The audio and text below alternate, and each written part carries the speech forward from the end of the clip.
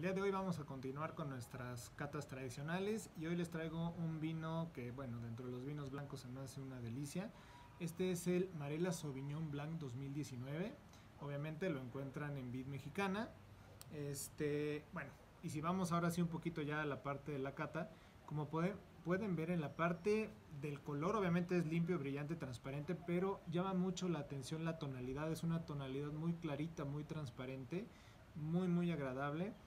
Tiene un ribete, si lo ven así, la inclinación hacia colores plateados. Entonces es un vino visualmente muy agradable. Vamos a llevarlo a nariz a copa quieta.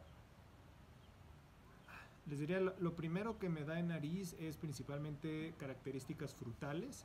Podemos hablar un poquito de la, pues es piña, durazno, frutos tropicales, la verdad muy, muy agradables. Déjenme agitar un poquito en copa.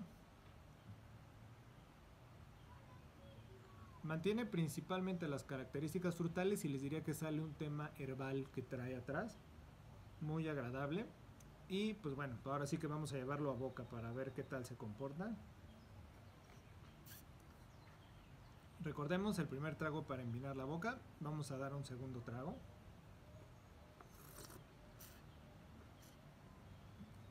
En boca lo primero que les diría es, es un vino seco, eh, tiene acidez presente, automáticamente me hizo salivar. Sí siento muy leve la parte del alcohol que va cayendo por aquí. Tiene muy buen balance en general. Eh, no es eh, ni astringente, obviamente, por el tipo de uva. No tiene notas amargas ni nada por el estilo. Entonces, la verdad es un vino bastante, bastante agradable.